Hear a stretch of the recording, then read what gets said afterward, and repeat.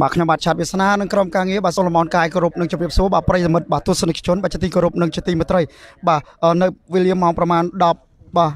36នាទីបាទនៅថ្ងៃបាទទី20បាទ7បាទខែតុលាឆ្នាំ2020បាទខ្ញុំបាទនៅក្រុមការងារកំពុងតែមានវត្តមានផ្ទាល់នៅតាមបណ្ដោយ លោកញ៉ាមងរដ្ឋីបាទក្នុងបាទភូមិជ្រេះបាទសង្កាត់បាទភ្នំពេញថ្មីបាទខណ្ឌសែនសុករាជធានីភ្នំពេញបាទធ្វើសេចក្តីរាយការណ៍នៅករណីបាទគ្រោះថ្នាក់ចរាចរណ៍មួយដែលបណ្ដាលឲ្យបរិះបាទភាគីខាងម៉ូតូគឺរងរបួសធ្ងន់ហើយត្រូវបានបញ្ជូនទៅកាន់ឯមន្ទីរពេទ្យដើម្បីធ្វើការបាទជួយសង្គ្រោះហើយអញ្ចឹងហើយប្រិមិត្តបាទសូមអញ្ជើញបាទទៅទស្សនាបាទនៅរូបភាពទាំងស្រុងជាមួយនឹងក្រុមការងារបាទដូចទៅទៅឡើងក្នុងជើងបាទគួរបញ្ជាក់ផងដែរថាករណីបាទគ្រោះថ្នាក់ចរាចរណ៍នេះបាទកើតឡើង កាលពីវេលាម៉ោងប្រហែលជាបាទ9:10បាទប្រិមិត្តទុនជន គឺនៅតាមបណ្ដោយផ្លូវអុកញ៉ាមងរដ្ឋីបាទគឺរវាងម៉ូតូត្រីមសង់និងរថយន្តម៉ាកព្រុសនេះតែម្ដងអញ្ចឹងបាទយើងទៅទស្សនាបាទនៅនឹងកន្លែងកើតហេតុបាទដោយសារតែផ្លូវនេះគឺបើកបរលឿនលឿនណាបាទប្រិមិត្តទុនជនបាទ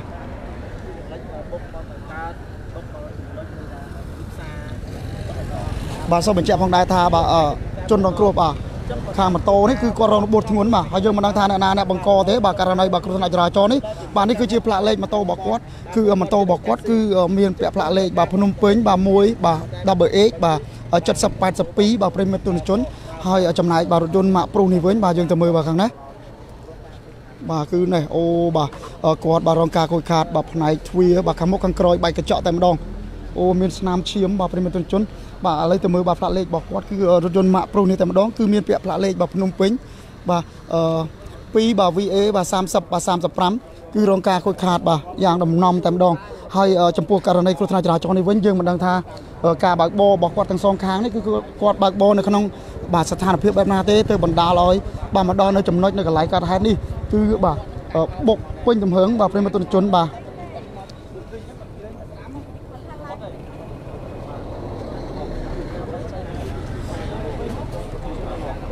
ាទជាស្រ័យបាទប្រិមត្តជន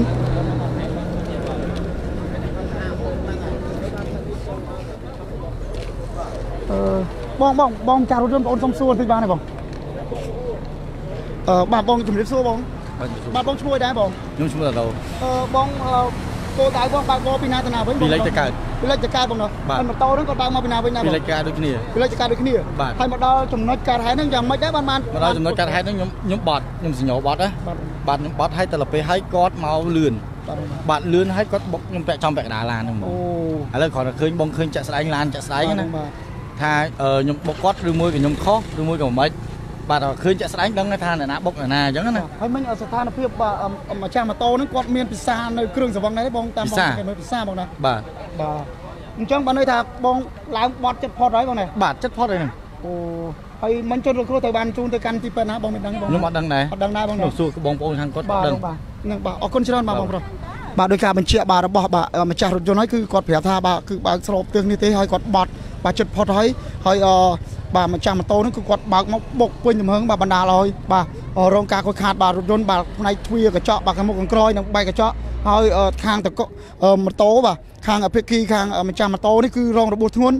អឺត្រូវបានបញ្ជូនទៅកាន់ឯមន្ទីរពេទ្យដើម្បីធ្វើការបាទសង្គ្រោះបឋមបាត់ហើយបាទប្រិមិត្តជនហើយសូមបញ្ជាក់ទីតាំងនៅចំណុចកើតហេតុដែលក្រុមការងារយើងខ្ញុំមកកំពុងទៅធ្វើការផ្សាយគឺនៅតាមបណ្ដោយផ្លូវបាទលោកកញ្ញាមុខរដ្ឋីបាទផ្លូវ100បាទផ្លូវ300បាទ04បាទ បាទភូមិជ្រេះបាទសង្កាត់ភ្នំពេញថ្មីបាទខណ្ឌសែនសុកបាទរាជធានីភ្នំពេញបាទផ្ទាល់តែម្ដងហើយដោយការបញ្ជាក់បាទរបស់បងបងប្រុសបាទខាងអភិគីបាទម្ចាស់រថយន្តបាទគាត់បានបញ្ជាក់ថាម៉ូតូនិងរថយន្តនេះគឺបើកបោបាទទិសដៅស្របគ្នាទេពេលមកដល់ចំណុចគាត់ហេតុបាទគាត់វាយសញ្ញោមកហើយប៉ុន្តែដោយសារតែអឺយើងមិនដឹងថាយ៉ាងម៉េចទេទៅមកដល់នៅកន្លែងគាត់ហេតុនេះគឺបណ្ដាបុកបាទចំមកពាក់កណ្ដាលតែម្ដងហើយអឺបណ្ដាលឲ្យភាគីខាងម៉ូតូរងរបួសធ្ងន់ហើយចំណែករថយន្តគឺបាទរងការខូចខាតបាទទ្វារខាងមុខទាំងក្រោយ បាទប្រិមត្តជនដោយសារតែតាមបណ្ដោយផ្លូវនេះគឺមានតែភាពស្ងាត់ហើយរថយន្តបាទបើកលឿនលឿនណាស់អញ្ចឹងហើយបាទសូមបងប្អូនទាំងអស់ដែលបានបាទទស្សនាបាទការផ្សាយផ្ទាល់របស់បាទក្រុមការងារយើងខ្ញុំបាទគឺមានការបាទប្រុងប្រយ័ត្ននិងបន្ថយលបឿនផងបាទមើលនោះបាទបាទប្រិមត្តជនឃើញហើយបាទបាទថោផ្កាផក់លើយបាទអាគប់លើបាទហើយសមត្ថកិច្ចយើងគាត់មកដល់ណាបងបាទមានសមត្ថកិច្ចមកនៅបង សមត្ថកិច្ចមកដល់នៅបងនៅបាទសូមបងប្អូនមកជួយសះចៃរំលែកមួយផងហើយករណីគ្រោះថ្នាក់ចរាចរណ៍នេះឃើញកើតឡើងយូរដែរហើយហើយសមត្ថកិច្ចយើងគឺលោកមិនទាន់បានមកដល់នៅកន្លែងកើតហេតុទេហើយសូមបញ្ជាក់បាទទីតាំងម្ដងទៀតគឺនៅបាទភូមិជ្រេះបាទសង្កាត់ភ្នំពេញថ្មីបាទខណ្ឌសិនសុកបាទរាជធានីភ្នំពេញតែម្ដងអញ្ចឹងយើងជួយ share ចែករំលែកមួយដើម្បីផ្ដល់ជាព័ត៌មាននេះបាទទៅឲ្យសមត្ថកិច្ចយើងលោកមកដល់នៅកន្លែងកើតហេតុបាទដល់មកដល់នៅកន្លែងកើតហេតុដើម្បីបាទធ្វើការបាទវាស់វែងក៏ដូចជាលើកម៉ូតូនេះចេញខាងដើម្បី ខ្លាចបង្កបាទជាករណីបាទគ្រោះថ្នាក់ចរាចរណ៍ទៀតដោយសារតែប្រិមិត្តបានឃើញហើយគឺបាទឡានបាទធំធំមែនតើបាទនៅតាមបណ្ដោយផ្លូវនេះឲ្យបើកបរលឿនលឿនលឿនណាបាទបើកបរលឿនលឿនលឿនណា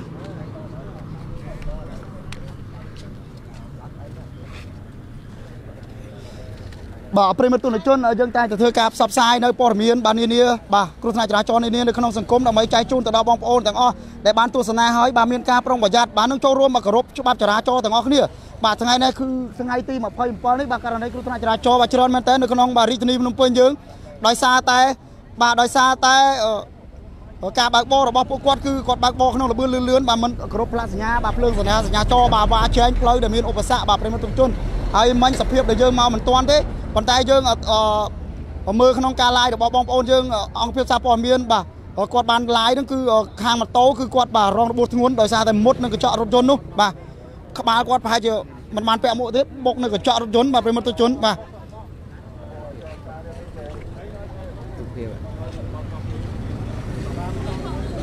បាទហើយមិញតាមការសាកសួររបស់អង្គភាពសារព័ត៌មានយើងបាទគឺ ទៅកាន់បាទម្ចាស់រថយន្តគឺបាទគាត់បានបញ្ជាក់ថារថយន្តគាត់និងម៉ូតូគឺបើកបរបាទស្របទិសគ្នាទេពេលមកដល់នៅចំណុចកើតហេតុនេះគឺគាត់បត់បត់ផុតហើយគាត់សញ្ញោបត់ផុតហើយត្រូវបានម៉ូតូនេះបុកពេញទំហឹងបាទចំពាក់កណ្ដាលហើយរងរបួសធ្ងន់តែម្ដងហើយឥឡូវយើងទៅមើលបាទរូបភាពខាងភៀកគីម៉ូតូគឺគាត់រងរបួសបាទប្រិមត្តជនបាទមិញហ្នឹងគឺត្រូវបានខាងទីពេទ្យបាទរុំបាទស្បងហើយហើយក្បាលរបស់គាត់គឺមុតជ្រៅមែនតើបាទ ហើយឥឡូវបាទយើងទៅបញ្ចាំងបាទផ្លាកលេខមកទៀតហើយបងប្អូនប្រិមិត្តបាទសូមជួយ share ចែករំលែកផងដើម្បីឲ្យដំណឹងនេះចែកលឺទៅដល់បាទសមត្ថកិច្ចយើងសមត្ថកិច្ចមូលដ្ឋានយើងបាទលោកចុះមកដល់នៅកន្លែងកើតហេតុបាទនេះគឺម៉ូតូគាត់បាទត្រៀមសង់បាទ010ប្រហែលអូននេះ18 19អូនបាទគឺផ្លាកលេខរបស់គាត់គឺមានពាក្យផ្លាកលេខបាទភ្នំពេញបាទដាក់ចិត្តតិចអូននេះបាទពាក្យផ្លាកលេខបាទភ្នំពេញបាទ1 13 A បាទ70បាទ82ចំណែកបាទរថយន្តបាទព្រុសនៅវិញ គឺរថយន្តរបស់គាត់គឺបាទពាក់ផ្លាកលេខបាទភ្នំពេញបាទ2បាទ AV បាទ30 35 ហើយសូមបញ្ជាក់ទីតាំងនៅចំណុចកាសហេតុនៃករណីបាទគ្រោះថ្នាក់ចរាចរណ៍នេះផងគឺនៅតាមបណ្ដោយផ្លូវបាទលោកអញ្ញាមន្តរិទ្ធិបាទក្នុងភូមិជ្រេះសង្កាត់បាទភ្នំពេញថ្មីបាទខណ្ឌសិនសុកបាទរាជធានីភ្នំពេញបាទផ្ទាល់តែម្ដងបាទសូមជួយ share បាទចែករំលែកផងដើម្បីចែកជូនជាព័ត៌មាននេះទៅដល់បាទសមត្ថកិច្ចយើងលោកមកដល់នៅកន្លែងកើតហេតុនេះដើម្បីបាទធ្វើការបាទសម្រួលចរាចរណ៍ក៏ដូចជាគូសវាសបាទនៅចំណុចនេះបាទយើងខ្លាចបាទបង្កជាករណីបាទគ្រោះថ្នាក់ចរាចរណ៍ទៀតបាទប្រិមិត្តជនបាទបាទគឺមានលេខបាទភ្នំពេញបាទ មួយបាទ double A បាទចិត្តយុទ្ធមកក្រោយមកអូនវមស្រួលមកក្រោយមក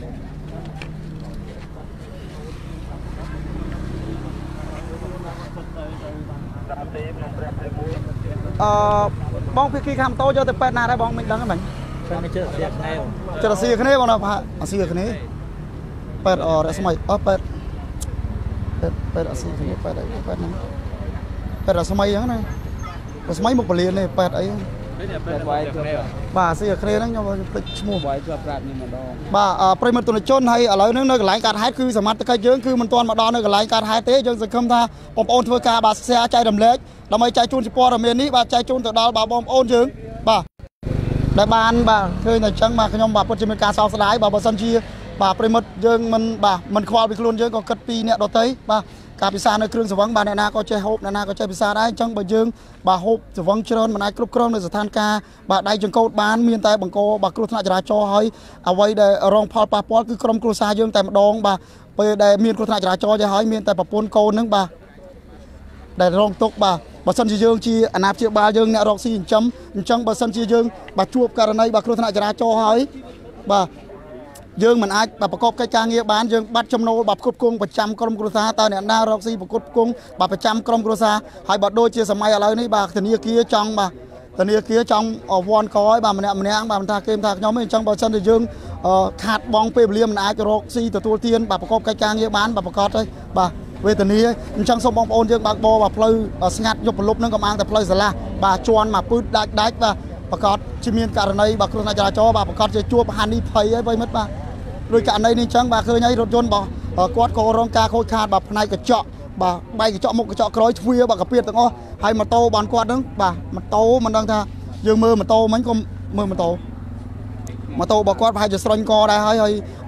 ម្ចាស់ម៉ូតូហ្នឹងគឺរងរបួសធ្ងន់ហើយត្រូវបានបញ្ជូនទៅកាន់ឯមន្ទីរពេទ្យបាទបាទហើយបាទរបួសធ្ងន់បាទប្រិមត្តជនហើយត្រូវបានបញ្ជូនទៅកាន់ឯមន្ទីរពេទ្យបាទចិត្តនឹងអឺ ទូរទស្សន៍បាទអាស៊ីអាគ្នេយ៍នោះហើយសូមបញ្ជាក់ទីតាំងនៅចំណុចកើតហេតុដែលក្រុមការងារយើងកំពុងតែធ្វើការផ្សាយម្ដងទៀតដើម្បីបាទចែកជូនជាព័ត៌មាននេះបាទទៅដល់លោកសមត្ថកិច្ចយើងបាទអូយគណៈករណីគ្រោះថ្នាក់ចរាចរណ៍នេះបុកយូរដែរហើយបាទប្រិមត្តជនអញ្ចឹងយើងសង្ឃឹមថាបាទរដ្ឋបាលបាទមិនដឹងថាសង្កាត់ភ្នំពេញថ្មីលោកដឹងបានដឹងដែរឬអត់ទេដោយសារតែបាទប្រិមត្តជននៅតាមម្ដោយផ្លូវអុកញ៉ាលោកអុកញ៉ាមុងរទ្ធីសង្កាត់ភ្នំពេញថ្មីបាទខណ្ឌសែនសុខរាជធានីភ្នំពេញតែម្ដងបាទ ឥឡូវហ្នឹងមានតែបងប្អូនជាបរដ្ឋយើងនៅចំណុចកើតហេតុនេះទេហើយក៏ដូចជាបងប្អូនសារព័ត៌មានយើងទេគឺមិនទាន់ឃើញមានបាទសមត្ថកិច្ចបាទកម្លាំងមានសមត្ថកិច្ចចុះមកដល់នៅកន្លែងកើតហេតុនេះទេហើយដោយសារតែកំណត់ផ្លូវជាតិផ្លូវនេះគឺផ្លូវស្រឡះបាទផ្លូវបេតុងធំមែនតើបាទប្រិមិត្តជនជនបាទផ្លូវបេតុងធំមែនតើហើយប្រិមិត្តជនជននេះបាទមើលឡានគាត់បាទហើយឈាមមិញមានឈាមដែរបាទបងប្រុសនឹងត្រូវរបួសបាទធ្ងន់មែនតើបាទត្រូវបានបញ្ជូនទៅកាន់ឯមន្ទីរពេទ្យហើយ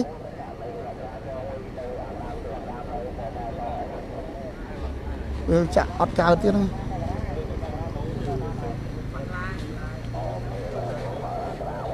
បាទហើយតាមការធ្វើការផ្សាយមកហ្នឹងរៀងយូរដែរទៅហើយបាទករណីគ្រោះថ្នាក់ចរាចរណ៍នេះហើយសមត្ថកិច្ចមូលដ្ឋានយើងហ្នឹងក៏លោកមិនទាន់មកដល់នៅកន្លែងកើតហេតុទេបាទអញ្ចឹងយើងសង្ឃឹមថាបងប្អូនជួយ share បាទចែករំលែកបាទម្នាក់មួយម្នាក់មួយទៅដើម្បីជាព័ត៌មានចែកជូនជាព័ត៌មាននេះទៅដល់បាទសមត្ថកិច្ចបាទចុះមកដល់នៅកន្លែងកើតហេតុបាទប្រិមត្តជន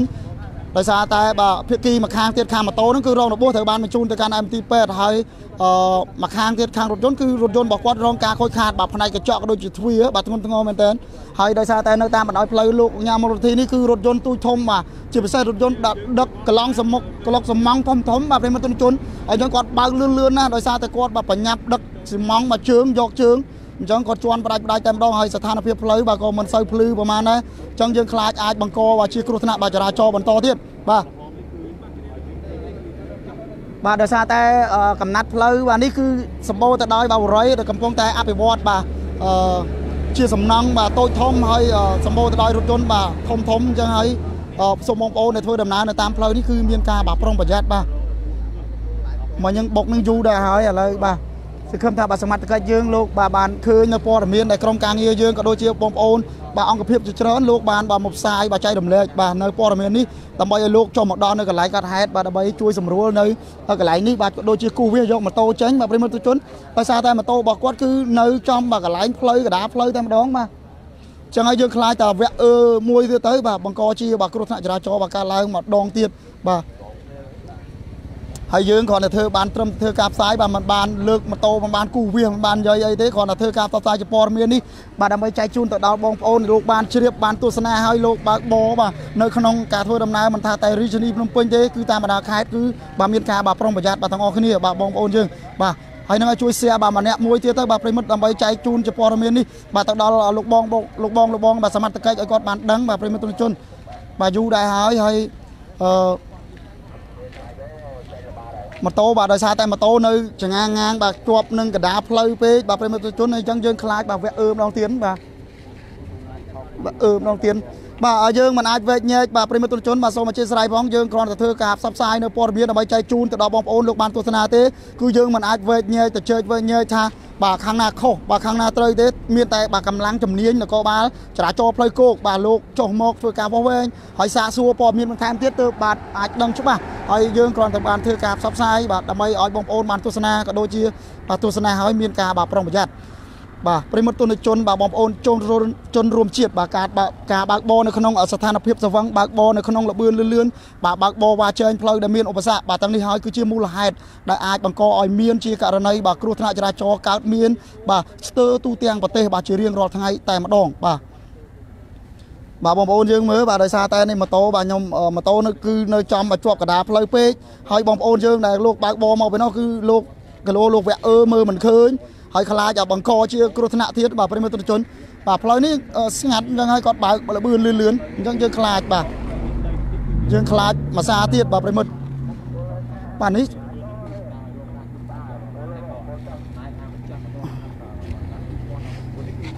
បាទយើងសង្ឃឹមថាបងប្អូនយើងលោកបានទស្សនាហើយលោកបានឃើញលោកមកដល់ចំណុចនេះលោកលោកបថយលបឿនបាទប្រិមត្តជនដូចឃើញហើយកូនកាម៉ូតូក៏អត់ដឹងទេហើយ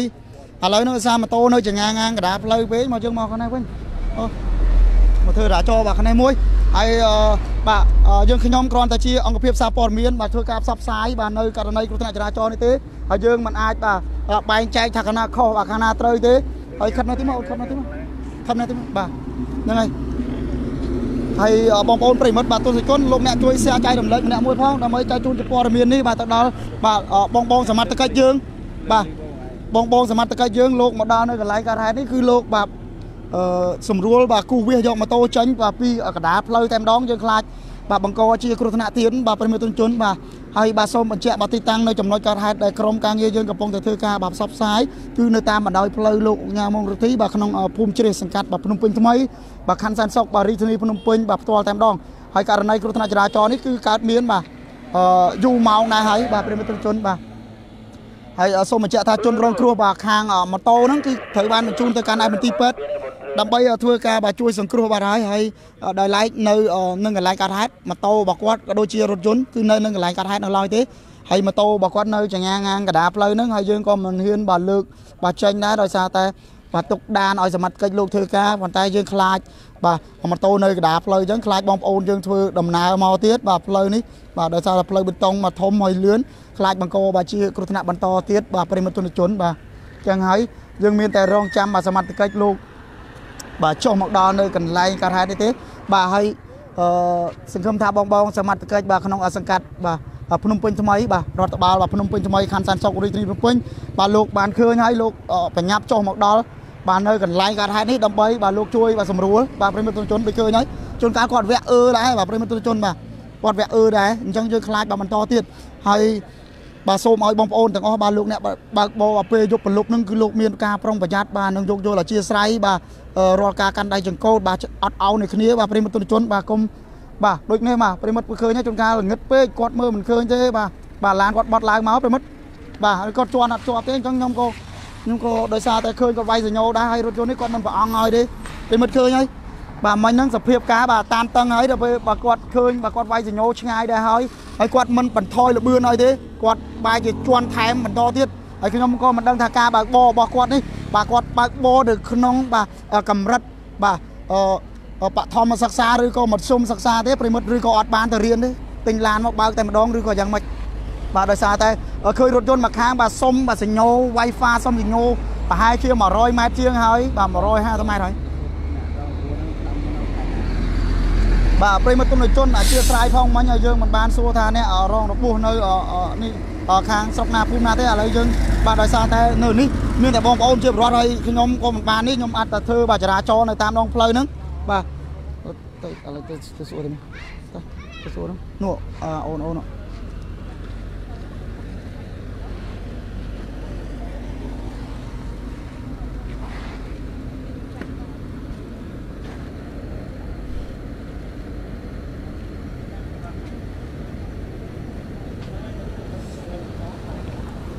បាទប្រិមត្តជនឥឡូវយើងទៅសាកសួរបាទរកព័ត៌មានបន្តិចមើលបាទបាទចូលកូនអឺអូនម្ចាស់ម៉ូតូហ្នឹងត្រូវជាមួយមួយអូនដែរបាទត្រូវបងប្អូនបងប្អូនណាបាទហើយអ្នកគាត់ស្គាល់គ្នាគាត់ជិះតែឯងទៅណាគាត់ជិះតែឯងហើយដឹងតែគាត់ឈ្មោះអីដែរអូនឈ្មោះភ័ក្រគាត់មានគ្រួសារនៅអូននៅបងនៅនៅហើយគាត់អាយុប្រហែលប៉ុន្មានដែរអូនអា28បាទគាត់29មានស្រុកកំណើតនៅគុំណាគុំណាស្រុកណានៅកប់ស្រូវយើងនេះនៅផ្ទះគាត់នៅនឹងហ្មងហ៎បាទអូហើយគាត់មកធ្វើអីដែរតាមបណ្ដោយផ្លូវនេះអូនបាទ ដឹងអីគាត់មកមកមកជួបសង្សារគាត់ដឹងអីដឹងហើយអអូនមានបានទួលដំណឹងថាគាត់ទៅមន្ទីរពេទ្យហ្នឹងរបួសគាត់យ៉ាងណាដែរមានដឹងបាទឥឡូវឥឡូវឲ្យខ្ញុំឲ្យទៅមើលគាត់គាត់ស្រែកឲ្យឲ្យទិញពេទ្យហើយបាទបាទបាទអរគុណច្រើនអូនបាទបាទបាទប្រិមត្តជនហើយការបញ្ជាក់បាទរបស់បងប្អូនប្រុសហ្នឹងគឺទីលំនៅគាត់នៅម្ដុំទំនប់កប់ស្រូវនឹងដែរទេហើយបាទអញ្ចឹងយើងក៏មិនដឹងថាយ៉ាងណាដែរហើយឥឡូវគាត់ប្រាប់ថាបាទគាត់ទៅកន្លែងទីពេទ្យដើម្បីបាទដើម្បីពិនិត្យមើលអាការៈបាទរបស់គាត់នៅឯមន្ទីរពេទ្យឯនោះបាទ ហើយមិញហ្នឹងឃើញឈាមបាទបុកជាមួយនឹងទ្វារបាទរថយន្តហ្នឹងបាទប្រិមត្តជនបាទអញ្ចឹងហើយសង្ឃឹមថាបាទសមត្ថកិច្ចយើងបាទលោកបានជ្រាបផងហើយយើងមិនមានបាទបងប្អូនប្រិមត្តជនបាទសូមអធិស្ឋានបាទហើយយើងរកលេខបាទលោកពូបាទសមត្ថកិច្ចទីចុះបាទ បាទសូមអធិស្ឋានបាទប្រិយមិត្តជនបាទខ្ញុំអសើចបាទរកលេខបាទសមត្ថកិច្ចបាទមូលដ្ឋាននៅសង្កាត់បាទភ្នំពេញថ្មីបាទខណ្ឌសន្តិសុខនេះបន្តិចដើម្បីផ្ដល់ព័ត៌មានឲ្យគាត់អញ្ចឹងខ្ញុំមិនបានអធិប្បាយបាទប្រិយមិត្តជនបាទសូមពិនិត្យអឺបាទទស្សនាមើលនៅកន្លែងកើតហេតុនេះហើយក៏សូមយកយល់អធិស្ឋានបាទមួយផ្លែតបាទប្រិយមិត្តជនបាទ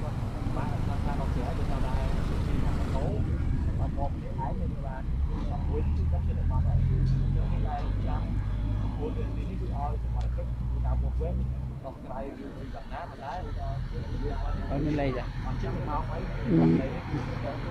នៅទូរស័ព្ទណាអូនណាមានលេខអត់មានលេខលេខញ៉ាមកទេ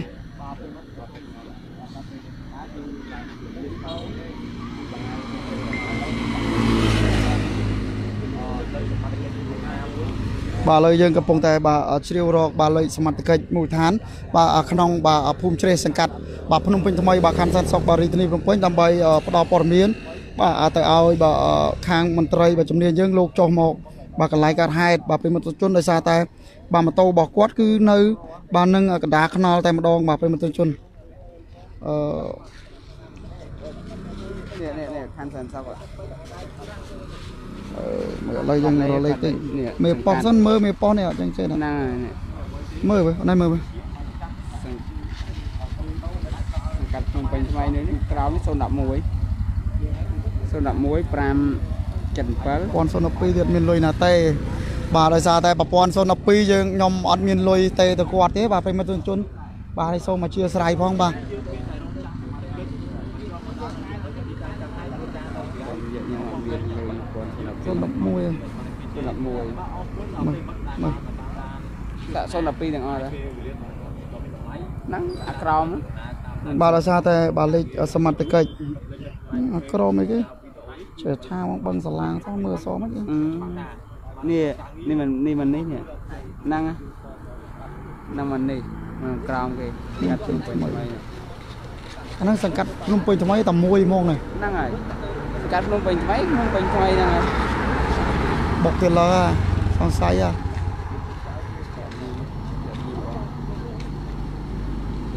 បាទហើយឥឡូវបាទប្រិមិត្តជនបាទសូមអធិស្ឋានផងយើងបាទតោះបញ្ចប់ការ live ផងណា បាទបាទប្រិមិត្តជនដោយសារតែបាទសូមបញ្ចប់ការ live ត្រឹមប៉ុណ្ណេះហើយយើងចង់តំណាក់តំណងទៅរកសមត្ថកិច្ចវិញដើម្បីបាទជួយសម្រួលបាទយកម៉ូតូចេញក៏ដូចជាគូសវាហើយយករថយន្តទៅសងខាងបាទហើយសូមអរគុណណាស់ចំពោះប្រិមិត្តជនចំណាយពេលវេលាដ៏មានតម្លៃតាមដានទស្សនាសកម្មភាពផ្សាយផ្ទាល់របស់អង្គភាពសារព័ត៌មាន PDTV យើងខ្ញុំក៏ដូចជាបងប្អូនបាទដែលនិយមគ្រប់តរបាទសូមអរគុណហើយសូមបញ្ចប់ការ live បាទត្រឹមតែប៉ុណ្ណេះ